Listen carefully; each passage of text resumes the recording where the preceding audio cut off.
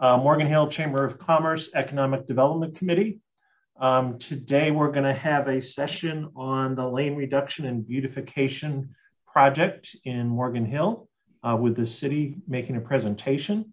Um, first, I'd like to go around the virtual table here and have everybody introduce themselves, all the panelists. Uh, my name is Rick Kent. I'm the chair of the Economic Development Committee for the Chamber. Steve? Hi, I'm Steve Tate. I am a retired guy and a chamber ambassador. Matt?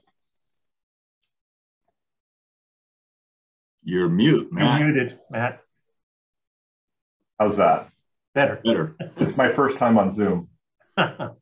Uh, Matt Mahood, I'm the Economic Development Director with the City of Morgan Hill. And um, instead of doing a self introduction, I want to introduce uh, Travers Grindall, who's with us down here uh, this morning joining us. He is our new Economic Development Fellow uh, and just joined us on Monday. And uh, what better way to get onboarded than to uh, join a Chamber EDC meeting and get an update on the Monterey Street um, lane reduction project. So welcome, Travers.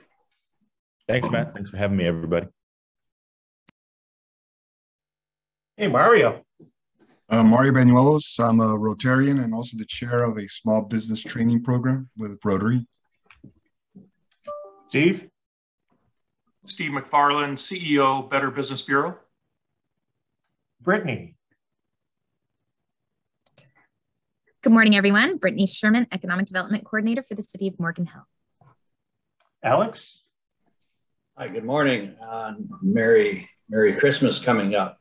I'm Alex Kennett. I'm a local uh, realtor, residential and commercial, and a director of the Open Space Authority. Armando? Good morning. Armando Garcia, Board Chair, Morgan Hill Chamber of Commerce. And I think I'll go for John, even though it looks like it's Nick.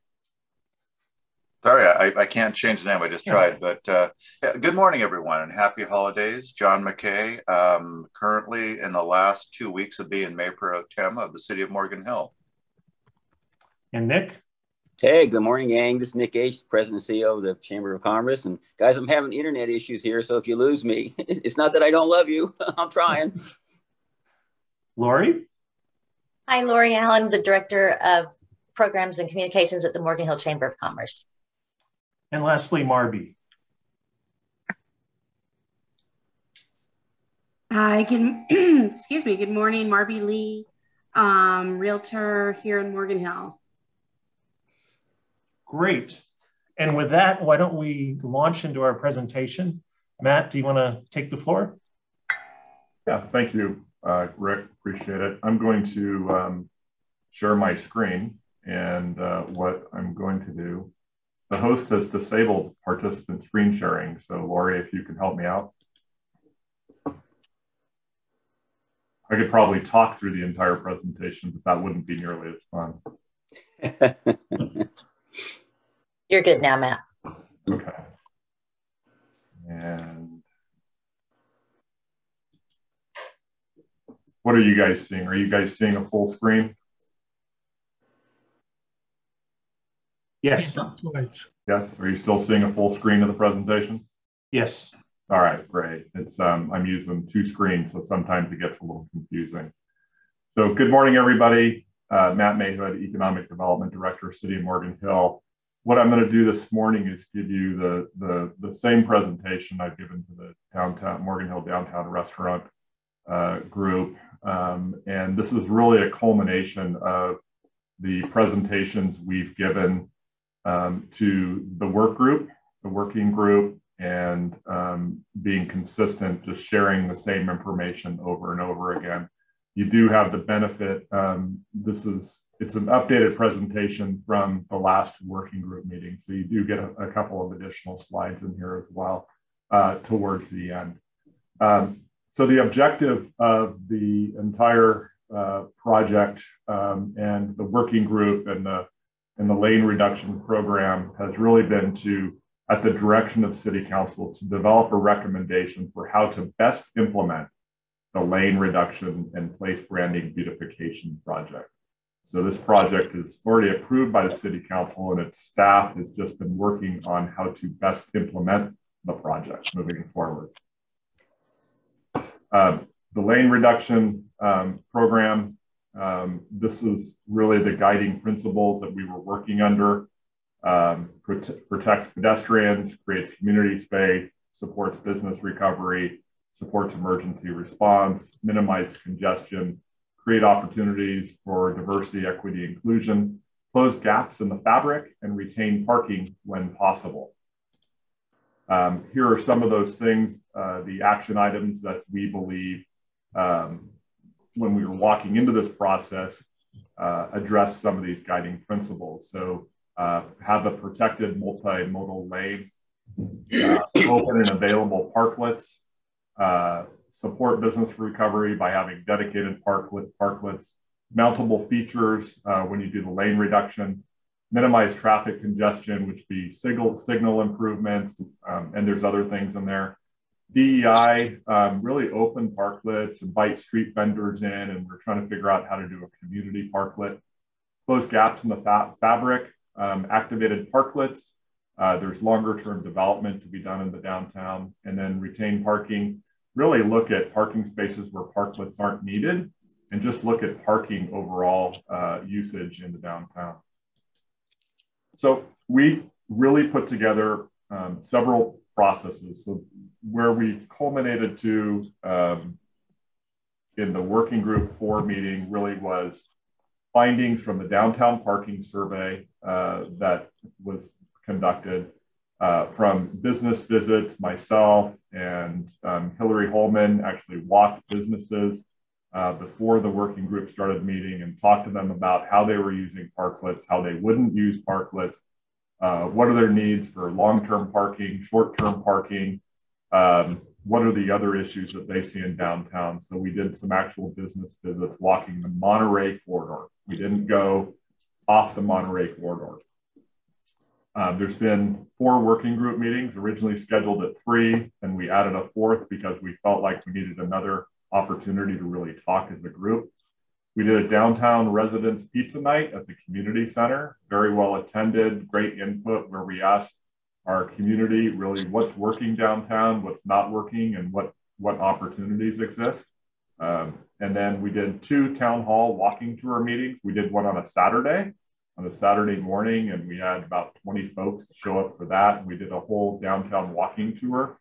And then we did one on a, I think it was a Thursday night, um, and we all started at the ice cream shop and then did a little walking tour of downtown as well, led by Edith Ramirez. In addition, we've done a chamber meeting, downtown association, and the downtown restaurant meetings. So the concerns that we've heard, um, obviously we've heard concerns about traffic impacts. We've heard concerns about loss of parking, noise, homelessness, uh, the need to slow down traffic, lighting issues, uh, not necessarily on the Monterey corridor, but also uh, on side streets and on Depot Street uh, sidewalks where there's uneven sidewalks and obstacles in the sidewalk or narrow sidewalks, um, obstacles in the sidewalk. Uh, the need for more enforcement in the downtown corridor, uh, whether it's for speeding, um, for just general things that are happening in downtown, uh, more retail and activation. So, how do you create more activity in downtown? How do you support more retail uh, and support the retail that exists? and just the general aesthetics of downtown. How do you make it cleaner, cleaner and safer and friendlier? Uh, which leads to the question just of the lack of maintenance, the lack of ongoing maintenance, and who's responsible uh, for uh, maintaining the sidewalks and just the general cleanliness of downtown. We heard the needs and the needs and the wants of the group. Um, a lot of demand for short-term parking, and this was really for short-term parking um, closer to restaurants, closer to retail, um, not just for, well, first of all, the, the, the request came in around the need for restaurant takeout and the DoorDash and the Grubhub opportunity for them to close to the restaurant so they could drive in, grab the the, the meal and, and leave quickly. But then as the process developed, we also heard short-term parking for drop off and pickup of people near restaurants. Um, we heard the need and want to slow down traffic um, around and on Monterey. We heard the need and want for more enforcement uh, to, you know, around noise, around speeding, um, around parking issues, uh, just in general, more enforcement. Uh, more retail downtown. Uh, it's a, that's a challenge for us. We feel like we got a good, uh, strong restaurant community, but not enough retail. We don't quite have the density that we want around retail that makes downtown like the shopping district that you think of to go to. Um, the challenge with that, not to get into the challenges necessarily, but we just don't have a lot of vacant space in downtown or uh, just to add retail. Community space, the need and want for community activations uh, for people to gather. Um, other activations, so places for people to gather, for uh, pop-up things to occur, um, like Sidewalk Saturdays that we have on 3rd Street, other activations just that bring people out. And then parklets, how are they affordable and consistent? Right now, there is uh, a lack of consistency in the parklets, and we can be pretty frank, they're not affordable. And moving forward, they're probably not going to be affordable. Uh, but that's one of the, the needs and the wants. And then obviously pedestrian and bike safety is key. That's in part why we're here uh, and having this conversation. Everybody wants a safe and clean place to, to gather.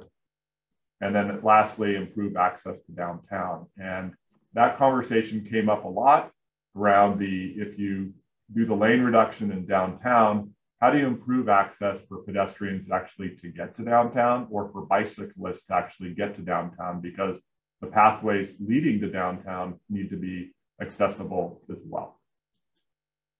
Create more parking. Um, that was a conversation we heard over and over again.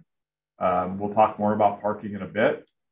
Add accessible parking, and when we mean accessible parking, we mean ADA or handicap parking. Um, there are a few handicap parking spots in downtown, but they're mostly on the south side, uh, not on the north side. And then the need or the want for a business improvement district, uh, property business improvement district, which is a self-assessment by the property owners to raise money uh, that would be used for um, enhancements into the downtown. And then building rooftop lighting. We have some building rooftop lighting, but um, we noticed that some areas were missing and there was opportunities to really light up the downtown and really um, make it seem uh, much more aesthetically pleasing. So parking highlights. We, uh, we spent a lot of time on parking because um, it seems to be a, a constant issue and a discussion around is there enough parking in downtown? Right now, the downtown has really a healthy supply of parking over 2,000 parking spaces in public and private lots in the downtown core. It's, it's, it may not be on Monterey Street. It may not be right in the in front of the restaurant or the retail you want to go to, but there are 2,000 parking spaces in public and private lots. There's 400 on-street parking spaces. Downtown is walkable, so you can get anywhere within five minutes. Um, that is the measure of uh, if, if, something's walkable. If you can get from one end of downtown to the other, uh, it is walkable, and it is. Um, I got long legs. I can probably do it in less than um, five minutes, but um, it, down, our downtown is very walkable. Parking management plan offers a mechanism to manage parking long term. Um, so we do uh, have a strategy to looking at parking um, and trying to understand the use of parking in downtown. Uh, we have used about 20 parking spaces for the parklets and alfresco currently. Um, and then the long-term need for parklets and alfresco maybe up to 33 spaces in total as we look at um, who may be adding parklets uh, in the plan. Uh, so we're at 20 now. I think we may, I think um, it's actually 19 as of today. Uh, it may go down to 18, but it could go as high back up to 30 uh, 31 should um, the parklets uh, that we're looking at be added in the near future. And then the need for short-term parking. So uh, we've had restaurants request the need for short-term parking. Um, we've had uh, the working group talk about short-term parking for um, just drop off and pick up. And then we need to figure out how to solve for parking on the north side of town. Uh, the, the parking garage services really the uh, south side of town, um, but there's an opportunity for more parking in the north side of downtown. And then again, solve for more accessible spaces. And we're um, in the in the plan that I think we'll ultimately bring forward. We'll be talking about how do we do that and where do we do that. So possible parking solutions that we talked about, obviously create short-term parking. Um, we, we're thinking about that and uh, we have talked about how to do that on the side streets, not necessarily on Monterey. Uh, we think we need to identify loading zones as restaurants uh, and retail are bringing product in. Uh, we need to avoid people double parking and blocking the lane of traffic so we don't have loading zones um, currently. So we had some conversations about how to create loading zones. Add more parking in the north side. Uh, we do have the depot and First Street lot, but that may or may not be a long-term solution. There's supposed to be housing that's built on that lot at some point. Monterey and First Street lot is vacant, and then adding more accessible parking spaces in the north side. Uh, ensure the VTA lot remains available. That is the lot that's on the east side of the railroad tracks. Uh, and the suggestion was to maximize the use of the VTA lot for downtown employee parking, that there should be an initiative uh, to ask our downtown employees to actually park, to, park in the VTA lot not in front of your business, and actually walk over to your place of business to open up parking for uh, patrons who would be coming to downtown. Uh, share the use of the courthouse lot. Uh, begin selective enforcement. Currently, one of the challenges we have in downtown is um, there may be a two hour parking limit, but there's no enforcement in downtown. The, the police department is not doing any enforcement.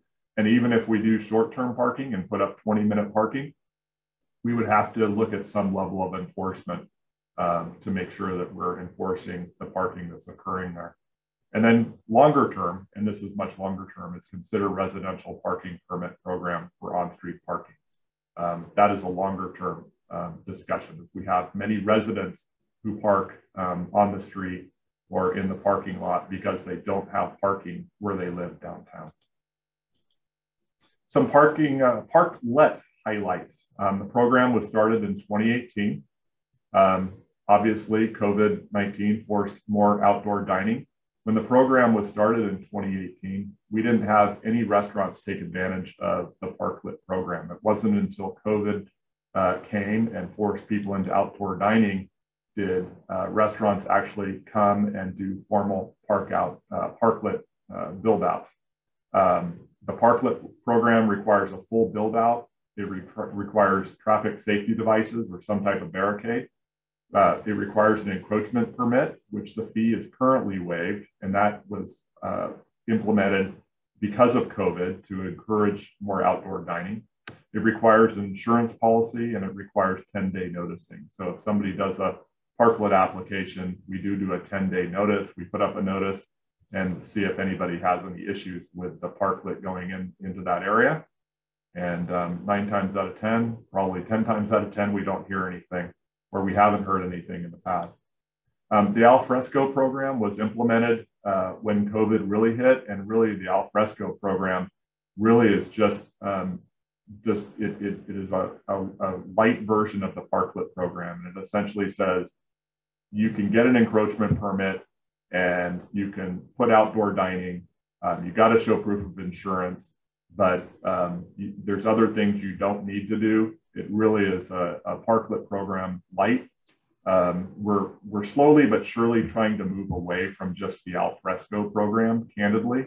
Um, but we did extend it through 2022 because just we're unsure of how long COVID is going to last. We're still seeing impacts um, to the restaurant industry. We're seeing spikes in cases again and we want to make sure things are easy for restaurants. And candidly, we're not getting complaints about alfresco dining. So if it isn't broke, don't don't try to fix it. But we will be looking at the Parklet program in alfresco in early 2022 and probably making some recommendations and working with the restaurants uh, on, on how we move more directly to the Parklet program. Some considerations, really, we're, we're understanding and managing the loss of parking uh, as it relates to the parklet program. Looking at design options for parklets, uh, and you'll see some options uh, later in this presentation. Talk about the affordability. A full parklet cost can be as much as $60,000. And if you're a restaurant, that's a very uh, high price, uh, price tag. Um, and then community parklets. So is there an opportunity to build a community parklet that's not assigned to a business? But then you have to think about how do you activate it? How do you maintain it? Um, who's responsible for um, taking care of it, et cetera. And then how to support retail activations. How do you use maybe that community parklet for retail activations? And then obviously the ongoing maintenance of parklets. Who's responsible for it, for the, for the parklets and how are they maintained? How do we make sure that we keep good aesthetics in downtown? So parklets, beautification solutions, we want well-designed parklets. We'll show you some design themes that we've uh, been presented by AP&I. Uh, we're talking internally about parklet assistance programs, uh, the encourage formal sidewalk extension build outs. Um, so things are ADA accessible and then potentially build a community parklet. And again, that's a cost. So who pays for that? How do we pay for it? Around beautification, we've had lots of conversations about really what can we do on the beautification side. So the first and for, foremost is how do we really improve downtown street maintenance and cleanliness? Looking at side street lighting, really um, as you get closer to Depot Street, there's some concerns off Monterey around lighting, um, increased tree maintenance for lighting, um, just keep maintaining lighting and trees. Uh, one of the ideas was on the beautification is to add the bollards at first, second, fourth, and fifth street. Uh, these are the same bollards that you see at Third Street and Monterey um, that are extended out towards the, the street and the sidewalk. Uh, it's a nice setback. It has it has an opportunity that allows pedestrians to stand uh, behind the bollards before they cross the street. So it's both kind of a, an aesthetic improvement and also a safety improvement encourage planters and plantings uh, in downtown, replace trees, which um, tends to be uh, uh, a controversial topic when you talk about what trees to replace uh, and what and what type of uh, tree to replace it with. There's a discussion the mural the Frontier build Frontier building. Um, it's a candidly it's a little of an unsightly building, but could you put a mural on it to make it more attractive and more aesthetically pleasing? A lot of conversation around the need to unclutter or remove things in the sidewalk or on the, uh, the downtown streets. Um, there currently are um, buildup of brick planters in downtown where the trees are uh, in a, a, planter that's about uh, 12 inches high. Um, the, the brick is chipping around those. It's kind of a trip hazard. Um, there's some maintenance issues um, looking at kiosks, removing of some of the kiosks, looking at the tree planters, um, removing of orange barricades and putting up a different type of barricade. Um, and then obviously the trees, the honey locust or black locust that even though they're alive and well, they don't look necessarily alive and well. And then um, add gateway art. So is there a way to do some type of gateway art that really beautifies downtown? So here are the just a graphic of some things uh, that we talked about, and I, I don't um, want to repeat it, but you can see the graphic. It's we've spent some time. Uh, we're actually going to have a brainstorming session today to think about what things that we can really implement um, on the beautification side. So let's get to the, the meat and the potatoes of um, why you're probably here, and that's the traffic highlights and really focusing on lane um, re reduction. Um, on the high level, traffic congestion is here and it's likely only to get worse. And that's the general um, traffic is never going to necessarily get better. We have more residents coming to town. We have more businesses coming to town. Um, we understand there is a need for traffic and congestion management. Um, there are limited opportunities to improve congestion. Um, there are only a certain number of things that we can do. Uh, we're in a city that's fairly built out, so there, there are a limited number of things you can do. Um, the Hale Avenue expansion will help. We really realize that, we understand that, and it's to be completed by the end of 2023, but it's a big project. Um, and we hope we can stay on schedule with that. Freeway expansion, uh, the expansion of 101, both north and south, mainly south.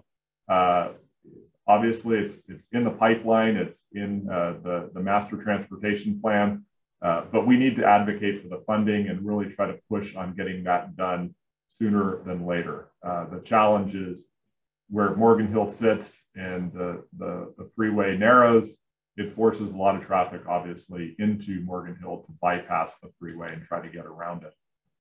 Downtown lane reduction will make downtown safer by slowing down cars and making crossing safer.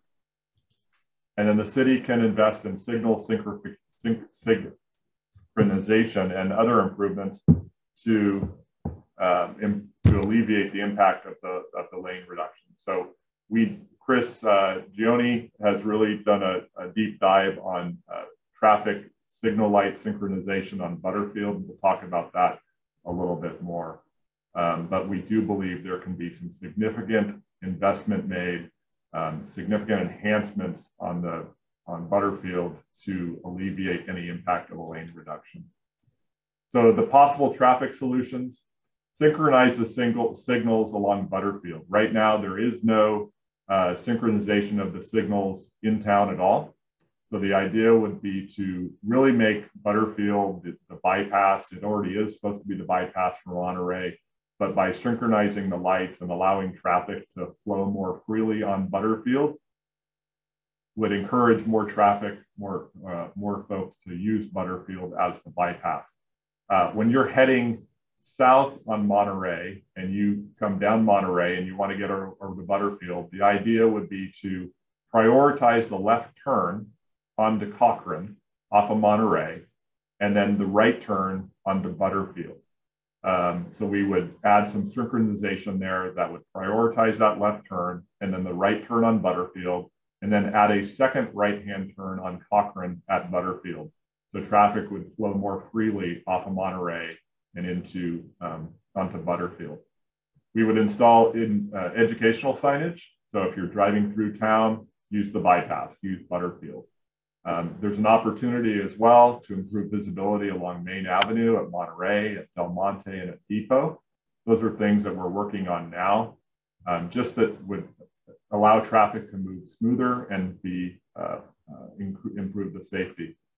Uh, the need to enforce speeding the need to enforce noise. Uh, big trucks, um, trucks should not be moving uh, through downtown unless they're delivering in downtown, but make sure that we are clearly identifying the truck route, which is Butterfield, and then trying to prevent the rolling stop signs uh, that, that occur in downtown.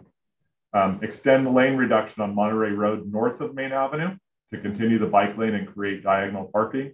That was an idea that came up late in the process. We haven't spent a lot of time on it, and it's not part of the proposed lane reduction, but it was an idea that came up. Um, traffic, when you're moving south on Monterey, does go from two lanes to one lane as you come underneath the train trestle, and then it opens back up again to two lanes. So that's the conversation that came up is what if you just kept it at one lane the entire time? coming through downtown since you've already gone through the lane reduction. So here is how the lane reduction would be implemented. Um, you can see the, the, the rubber bumper. Um, it's a safety, um, rubber safety hump. Um, they would be installed uh, on, in the roadway that then creates a five and a half foot wide bike lane.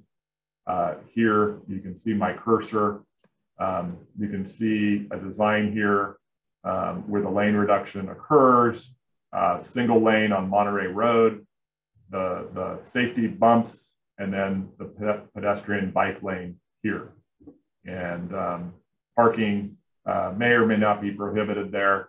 Um, this is, it just shows that it's probably where a parklet would go. Um, but you can see um, there'll be a couple other graphics that will show the actual implementation of the plan.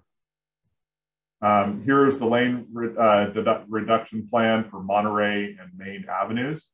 So we would do improved bicycle striping, uh, the, the green lane striping.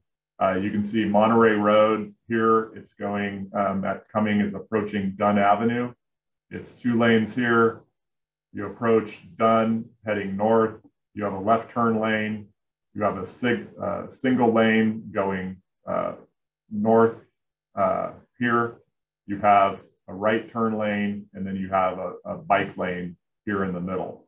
And then as you cross Dunn into uh, across onto Monterey, you have a single lane of traffic heading north, and you have a, a bike lane here, protected uh, bike lane.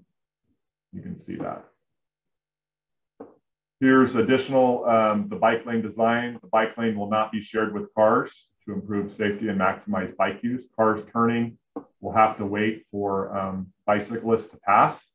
So this would be at 4th Street where you have a single lane moving north, a left turn lane onto 4th Avenue. And this is a shared lane, a bicycle lane. So if there's a bicyclist here and somebody wants to go right, they're gonna have to wait for the, the light to turn green to turn right. And then you can see moving north, the bike lane, the buffer, and then the single lane of traffic. So the traffic solutions, synchronized signals along Butterfield, the first and uh, most uh, important thing to go do. Add a second left turn lane and prioritize a left turn at uh, Cochrane and Butterfield to make sure traffic is flowing uh, better south. Uh, install educational signage and then improve visibility along Main Avenue at Monterey, Del Monte, and Depot. And one of the most busy uh, signals in town is at Monterey and Main. We don't have a lot of opportunities to make a lot of improvements there because of um, just how narrow uh, the passage is moving east and west. So it's very difficult to make any improvements there with the Wells Park, just the way that the buildings are so close to the street there. So um, here's some interfacing, uh, some examples. These are from APNI, and uh, it's just some examples of how the Parklet program could potentially be implemented. Um, these are concepts. We haven't decided on an exact um, design yet, uh, but these are designs that have been used in some communities and some designs that AP and I have put together. So this is an interface option. Uh, the agricultural influence, as you're looking at design elements, you're looking at like a, a planter, a, a, tin planter, um, wine barrels, a wood type bollard um, that's got steel reinforced, but it's wood on the outside. The siding and railing is either um, a grate or it's the aluminum or the tin. And then um, the, the decking system that goes from the curb out into the street is kind of a wood uh, flare. And then the implementation of it looks something like this. And then you can see the, the single lane of traffic, the buffer zone, and then the, the bike lane. I will say um, we do show the green striped bike lane. Uh, we do not have a budget to green stripe our bike lanes. Um, it's very expensive to do that. Um, it's not in, uh, it, it, and then once you paint it green, it's very expensive to maintain it because you got to come back every two years, I believe, and repaint it. Um, but it does look really nice. So it'd be great if we could figure out how to do that. Um, here's a, that same agricultural influence example. Hey, uh, Nick, this is in front of Craft Roots, so it gives you an idea of what you could do in front of Craft Roots with a with a parklet there. And another interface, and this is at um, just north of the hill, um, and how you'd interface, and this is the potential future site of Sushi Confidential. So this is a historical influence. Um, this one just uses really a bollard and chain, uh, the stamped concrete. This is how it looks. Um, we don't love this design. I almost took it out of this presentation because we don't feel like it provides any other than the bollards, um, which provide great vehicle safety. Um, but it doesn't, you know, if you got a little kid with you or a dog, they can very easily get underneath the, the chain and into, into the pedestrian or into the bike lane and into traffic. So we don't love this design, so I won't spend a lot of time on it. Um, that you can see the implementation. Here's an industrial influence. Um, it's more of a wood approach, wood and um, metal approach. Um, also with um, concrete planters, uh, has a different approach with concrete planters, uh, with more modern looking uh, bollards, some railing, and then maybe a concrete pad that's got a salt finish on it. It's um, instead of just doing a, a, raised and an elevated pad with wood, that you'd actually pour concrete um, into the as the as the base to bring it level with the sidewalk. This is what it looks like. This is pretty close to what Los Gatos is using with a lot of their parklets. Um, we do like this design probably better. The, of all three, we like this design uh, better than the previous two. Um, it's aesthetically probably more pleasing and it allows for planting and uh, safety. It's a better view of that with the bollards, the planter boxes, the uh, great railing, the salt finished concrete. Excuse me, is there any way to make that full screen so we can maybe get a better look at it? Um, I don't think so. No? no. Okay. That's about as big as it's going to get. So again, um, it's uh, the challenge with any of these uh, parklets is um, they're expensive to build. So um, obviously we would love to have consistency within downtown to have all the parklets look the same. Um, but to um, implement this, a parklet that looks something like this um, is to cost um, somewhere between, and, and we don't have complete figures yet, but somewhere between forty and sixty thousand dollars to build uh, for a two parking spot parklet. So it's, it's not insignificant. And then you're going to have to wait for materials anywhere from uh, three to four months for materials currently. So um, the outreach we've done, we've done four working group meetings, um, a lot of discussion, um, and then community-wide engagements. Uh, we've done a lot of community-wide engagement, and we are coming. We were originally scheduled to go to the city council on December. Um, uh, when is that? The last meeting next week. I guess it's next Wednesday. We're supposed to go, but we pushed it to January because we're still looking at cost estimates. We're looking at some design implementation. Um, we're still thinking through some beautification suggestions. And we also want to give the community time to react to the actual recommendations that come forward. And those should be coming forward in early January. Uh, city, the city staff, we go on furlough on December 23rd and we'll be back on January 3rd. So um, that's about the time frame the staff recommendations will be coming out. And then there's a city council meeting scheduled for the 19th of January. That is the presentation and I'm open for questions and comments. Alex. Thank you. Boy, that's as thorough as, as anything that the city has ever done uh, for any project, it seems. Congratulations. And it looks like it could work. I guess my, my question really has to do with the timing, which you've touched on, uh, which um, one factor is the completion of the Hale extension. Um, what other timeframes can you provide us today? So that's um, that's the known factor right now. Is well, it's known and unknown, right? We we're, we're targeting for 2023 for the Hale Avenue extension. The other big traffic, um, potential traffic impediment in downtown will be the, the movement of Depot Street to Church Street. So when the Latala Hale Lumberyard is built out, you're going to have a major construction project there at the, the Hale Lumberyard uh, and the realignment of Depot Street. Um, that project, we hope, will be underway um, spring, early summer of next year. Um, but that's probably an 18 month project. Um, and we recognize that's going to have some impact um, just in the downtown core.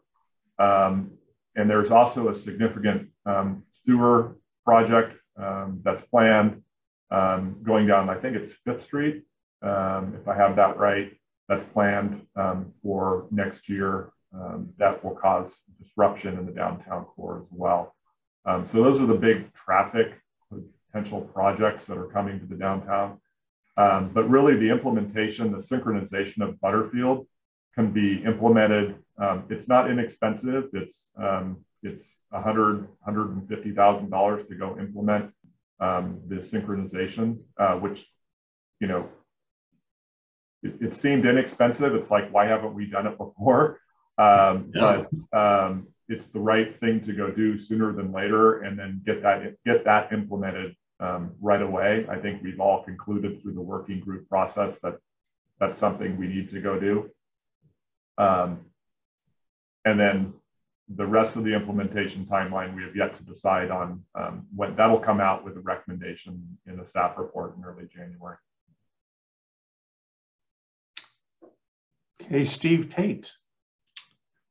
Yeah, I understand how everything will get safer on Monterey um, with the single lane. That that's kind of obvious, but what happened when we did the experimental program a few years ago was that people got off Monterey and that's where they started speeding up to figure out how to get around things uh, on Wright Avenue, on Main, on uh, even on on First Street and and Second Street. They'd get off and start speeding up to 60, 70 miles an hour to, to figure out a way around it. And is, is that been addressed, Matt, at all?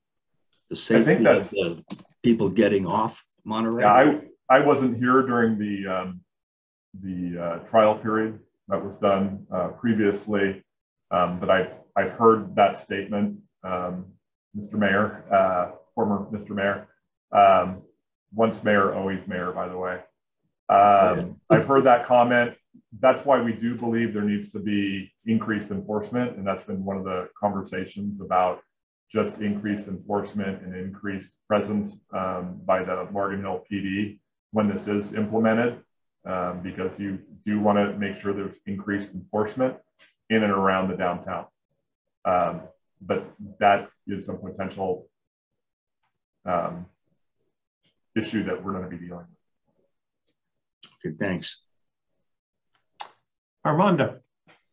Yes, thank you. Uh, thank you for the Matt. This right outstanding presentation. Thank you. That answered a by, lot. By the way, uh, I appreciate the compliments on the presentation, but this has been. Um, I came into this project in the middle of it. I mean, my first days on the job four and four plus months ago were to go do business walks, and this has been a team effort with Edith and and Chris and Hillary um, really a lot, a lot of staff time has gone into the outreach and the presentation yes. components of it um, because we recognize how important this is um, and how important it is to get right and to do the community outreach and to hear and gather feedback so we have a really good plan going forward. So I appreciate the compliments, but it's it's it's really been a team effort. Right, well, uh, thank you for that, Matt, and I appreciate the team effort from the Economic Development Group over at the city. They've done a, they've done a fantastic job in that. Uh, I have a question. You mentioned something about multiple features downtown for security. Can you tell me what those features are or what, you know, what we can mount on those for security? Yeah, the, the mountable feature is the is actually the the rubber uh, bumper that goes in the between the the car lane and the bike lane. It's that's the mountable feature. It's that rubber that goes diagonally. That's when they're talking about the mountable feature. That it's it goes in, it's mounted, and it's easily it can be removed, um, and um, it can be replaced.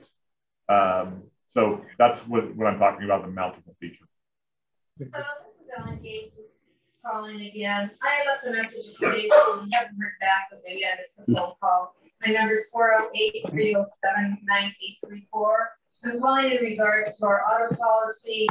Nick, you might want to mute. Somebody, uh, somebody should mute. Nick. But Nick, you have a question. Okay, any, any other questions? I guess one thing to follow up from Mayor Tate's question, uh, the side streets, and particularly, I think the streets that are in parallel to Monterey, probably on the west side, any talk of putting any more stop signs to maybe slow down the traffic? Um, on that side of the community? Um, that wasn't talked about. Um, the challenge with, um, the, and we've talked about this, both adding stop signs on Monterey Road, but wherever you add stop signs, then you add, um, you, you slow down, one, you slow down traffic, which is great, but then you potentially create increased traffic congestion by traffic backing up. And then two, you create increased noise and opportunities to rev up engines, you know, as people rev up and go um, you have the potential of adding noise. You know, big trucks, revving engines, motorcycles, revving engines, all of those things. Um, so that's a consideration when you're looking at adding stop signs. It may slow down traffic, but it may also increase congestion and increase noise.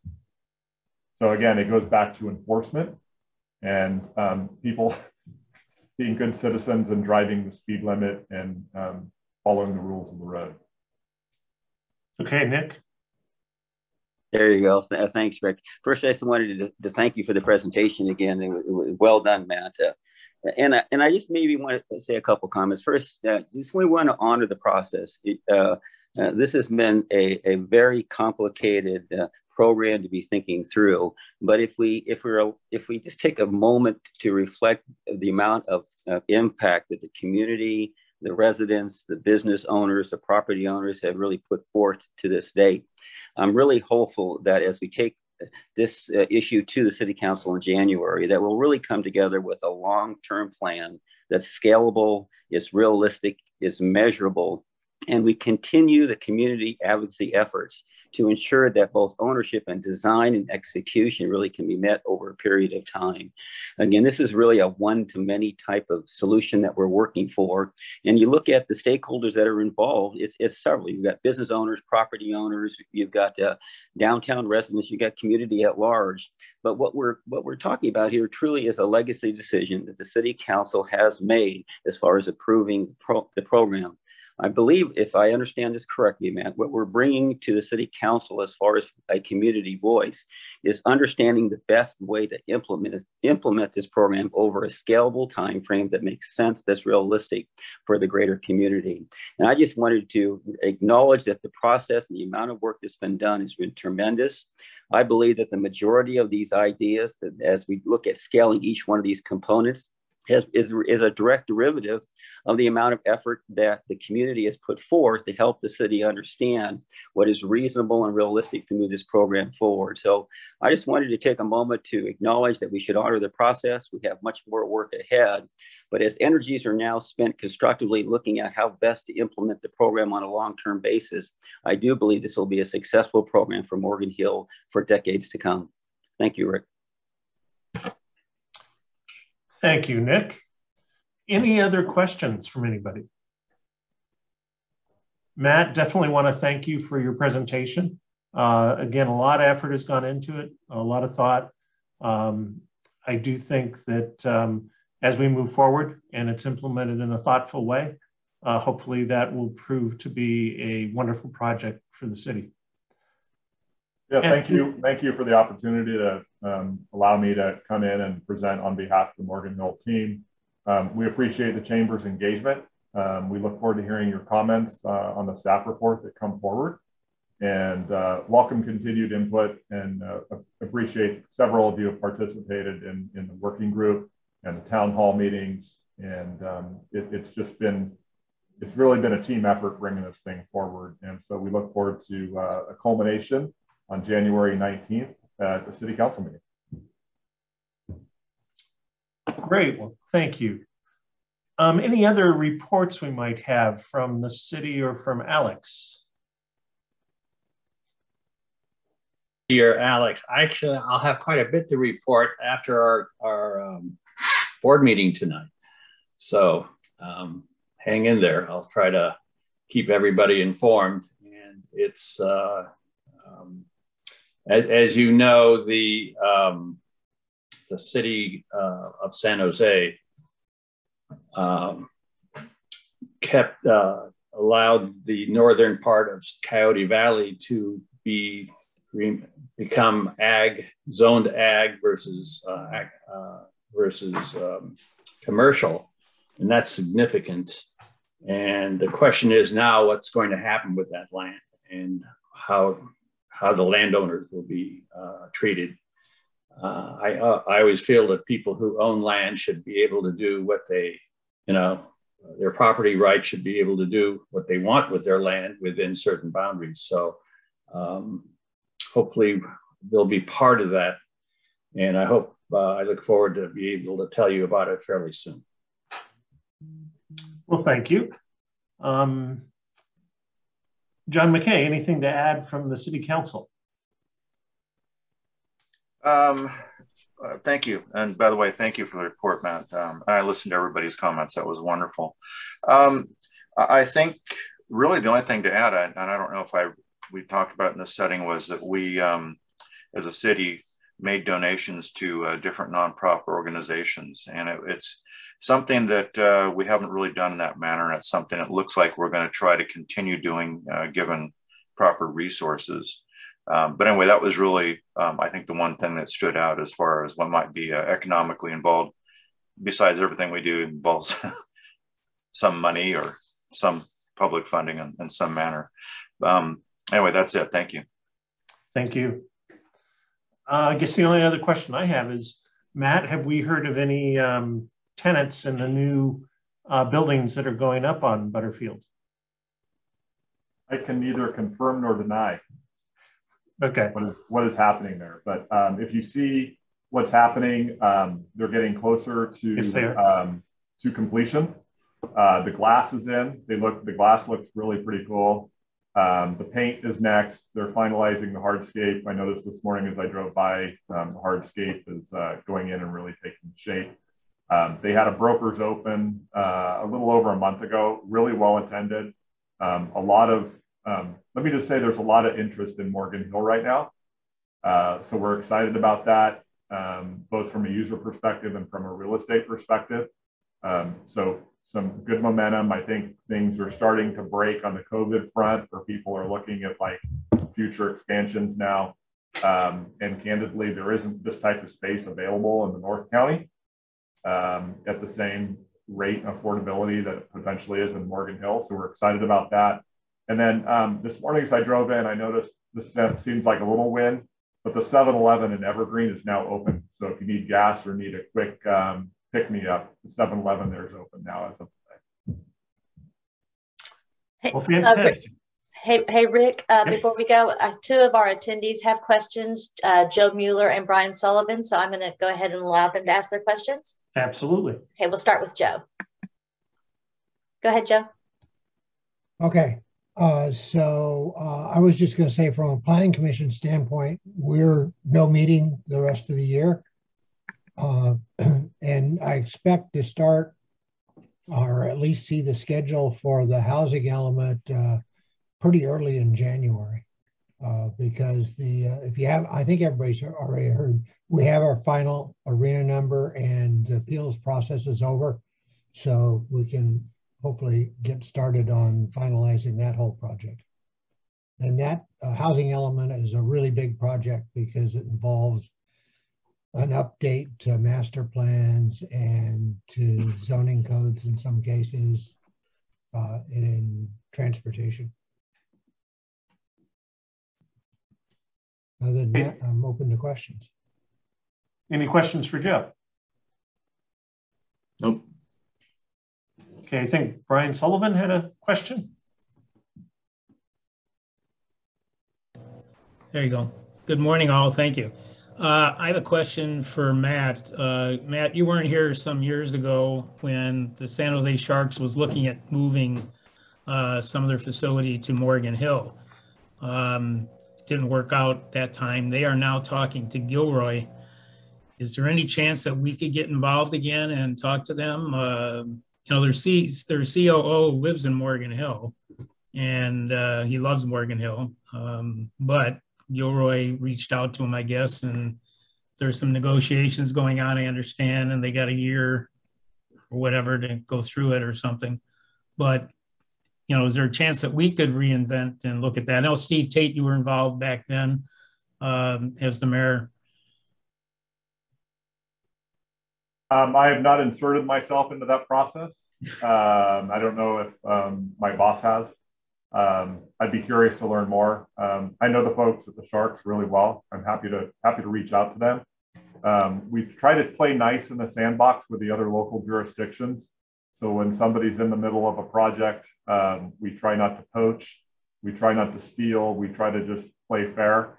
but there's no harm in always keeping all of our options open. And maybe if the Sharks are watching this presentation, um, they know how to reach me. But um, so we try not to poach, actively poach from other jurisdictions.